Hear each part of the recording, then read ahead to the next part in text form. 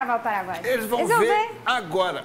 Como é que é? Acabou, acabou o jogo treino, 3x1 para o Cruzeiro. Daqui a pouco a gente Tá. confere os, os- os autores dos gols e mais detalhes. Tá? Beleza. Ele estava secando. Eu não. Tava não? Não, eu tava acompanhando.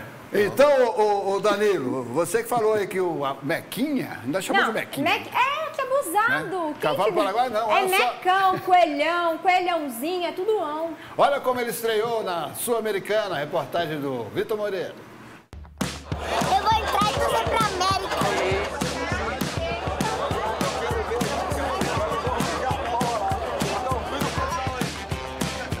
Estreia do América na Copa Sul-Americana é jogão contra o Penharol.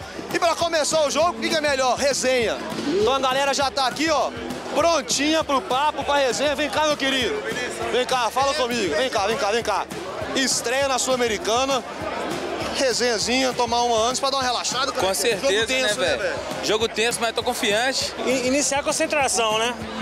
Daqui a pouco tem a bateria. Hoje é 2x0. Agora, se os jogadores do América jogarem o tanto que vocês estão concentrados aqui, é goleada. Não, aí é goleada, aí é 5x0. Mas a gente é humilde. 3x0 e boas. Eu vi, eu vi você dançando aqui, meu filho. Lá no Uruguai. Qual que é a dança do Uruguai, hein?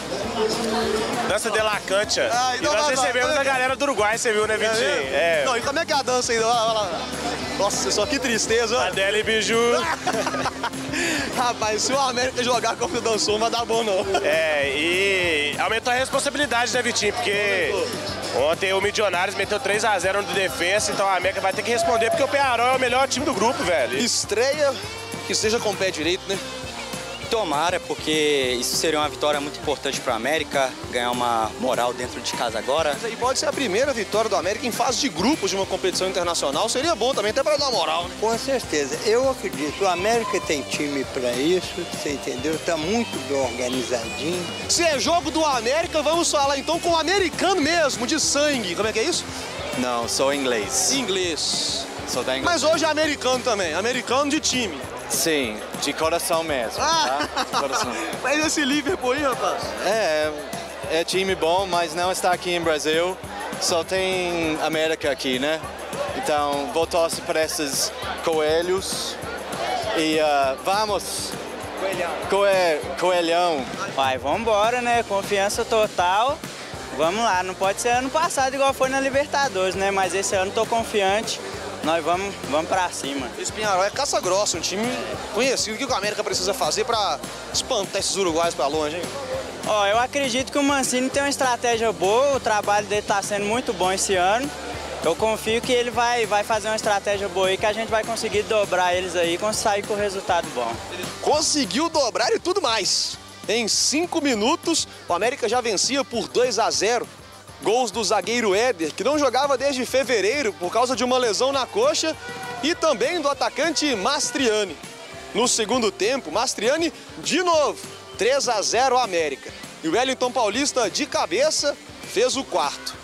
O Penharol descontou com o Matias Areço, também de cabeça.